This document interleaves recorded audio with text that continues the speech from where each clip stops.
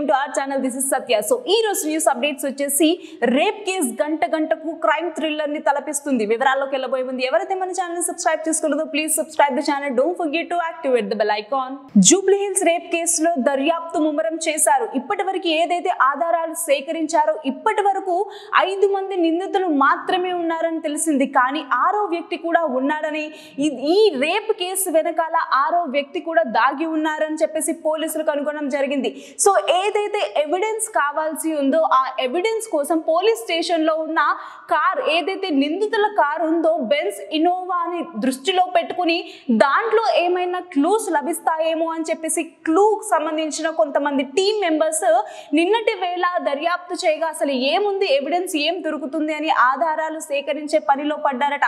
So ఇప్పటి వరకు దొరికిన ఆధారాలు ఏమిటి అంటే సో కారులో ఏదైతే బాధితురాలి చెప్పు కానీ అండ్ అలాగే తల వెంట్రుకలు కానీ ఫింగర్ ప్రింట్స్ కానీ అండ్ అలాగే నిందితుల ఫింగర్ ప్రింట్స్ కూడా అందులో ఉండడం జరిగింది. సో దాని మేరకు ఆ ఫింగర్ ప్రింట్స్ ఏదైతే ఉన్నాయో దాని వెనకాల ఎవరున్నారు? అసలు ఫింగర్ ప్రింట్స్ ఎవరివి అని అంటే పాత బస్తీ ఎమ్మెల్యే కుమారుడైన సో ఆ కుమారుడు ఫింగర్ ప్రింట్స్గా భావించడం జరిగింది. తన మీద కూడా కేసు వేసి ఎఫ్ఐఆర్ రాయడం జరిగింది అనమాట సో ప్రస్తుతానికి వీళ్ళందరూ కూడా వేరే రాష్ట్రానికి వెళ్ళినట్టుగా కొంతమంది చెప్తుంటే వేరే దేశానికి వెళ్ళిపోయారు అని చెప్పేసి ఇంకొంతమంది స్నేహితులు చెప్పడం జరుగుతుంది.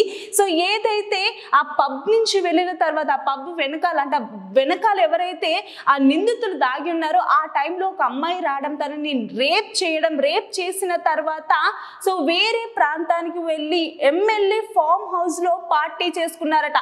మందు పార్టీ చేసుకునే టైంలో ఏదైతే రికార్డ్ చేశారో రేప్ చేసేటప్పుడు ఏదైతే వీడియో రికార్డ్ చేశారో అది వాట్సాప్ గ్రూప్లో పెట్టడం అది ఫ్రెండ్స్కి షేర్ చేయడంతో మరి అదేమన్నా వైరల్ వైరల్గా మారిందా? వైరల్గా మారినప్పుడు వాళ్ళ ఫేస్ కూడా క్లియర్గా ఉంటుంది కదా అనే దాని మీద కూడా దర్యాప్తు కొనసాగిస్తున్నారట పోలీసులు. సో ప్రస్తుతానికైతే వీడియోల ఆధారంగా అలాగే క్లూస్ ఆధారంగా ఎవరెవరైతే నిందితులు ఉన్నారో వాళ్ళ అందరినీ కూడా పట్టుకునే పనిలో ఉన్నారట పోలీసులు. ప్రస్తుతానికైతే కర్ణాటక దాకా వెళ్ళినట్టుగా తెలుస్తుంది.